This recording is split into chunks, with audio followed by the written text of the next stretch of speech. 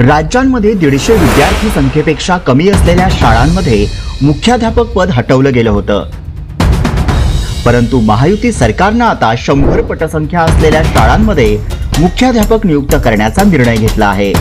यामुळे शंभर पटसंख्या असलेल्या प्रत्येक शाळांमध्ये मुख्याध्यापक नियुक्त केला जाईल.